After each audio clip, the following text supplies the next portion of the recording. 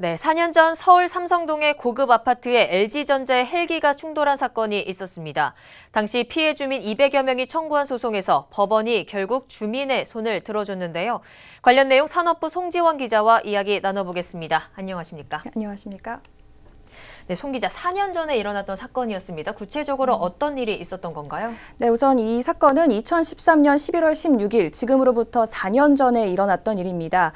LG전자가 소유한 8인승 헬리콥터가 갑자기 경로를 이탈하고 서울 강남구의 한 아파트와 충돌을 했습니다. 사고 당시 헬리콥터는 김포공항에 이륙 허가를 받아서 출발을 했고요. 전주로 가는 LG의 임원을 태우기 위해서 한강공원 잠실 선착장 인근의 헬리콥터 이착륙장으로 운항하던 중에 네. 건물 외벽에 프로 프로펠러가 부딪히면서 추락을 한 겁니다. 사고로 헬기 조종사 두명이 모두 숨졌고 또 헬리콥터가 직접 충돌한 102동의 11가구 그리고 인근 101동의 2가구가 거실 창문 파손 등의 피해를 입었습니다. 다행히 주민들의 인명피해는 없었지만요. 사상 처음으로 도심의 고층 아파트에 헬리콥터가 충돌하는 사건이라서 당시 여러 언론사에서 굉장히 대대적으로 보도한 바 있습니다. 자칫 정말 큰 사고로 이어질 수 있었던 사건이었는데 정확하게 된 사고 가 경위가 밝혀졌습니까? 네, 작년 7월 국토교통부에서 보고서를 발표를 했는데요. 이 자료에 따르면 당시 사고 헬기는 짙은 안개로 위치 식별이 어려운 상황에서 음, 네. 무리한 비행을 감행했던 것으로 확인이 됐습니다.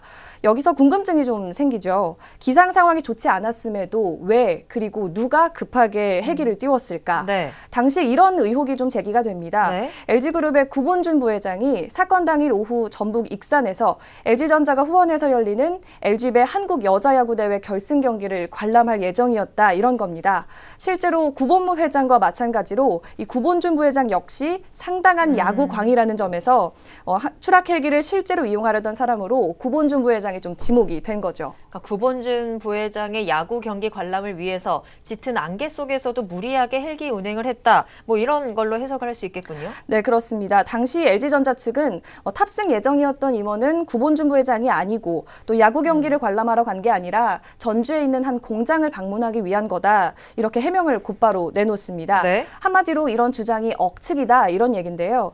재밌는 건 당시 한국 여자야구연맹의 회장을 맡고 있었던 김을동 새누리당 의원을 포함한 정부 여당 임원들 중 일부가 해당 추락 헬기를 타려고 한강 둔치로 가다가 차를 돌렸다 이런 아. 얘기까지 좀 더 씌워지면서 네. 폭풍이 좀 일파만파 확산이 됐었습니다. 하지만 정확한 사실은 4년이 지난 지금까지 음. 아직 밝혀지지 않았습니다. 네, 꼭 야구 관람뿐만 위해서가 아니더라도 뭐 공장을 방문할 예정이었다고 하더라도 그렇게 짙은 안개 속에서 무리해서까지 헬기를 운행을 했어야 되나라는 생각도 좀 드는데 네. 어찌됐든 10일입니다. 어제였죠. 법원이 LG전자에게 주민들에게 정신적인 피해 보상을 해라라고 판결을 내렸습니다. 결국에는 주민들의 정신적 피해가 인정이 된 거네요. 네, 그렇습니다. 당시 주민 중 일부는 사고를 직접 목격하거나 충격음을 들었고 또 충돌로 파손된 아파트 외벽과 뭐 헬리콥터 헬리콥터의 잔해물들도 상당 기간 노출이 돼 있으면서 네. 복구 과정에서 뭐 분진이나 소음 같은 주민들의 생활에 좀 불편을 초래했다 이렇게 법원은 설명을 했습니다.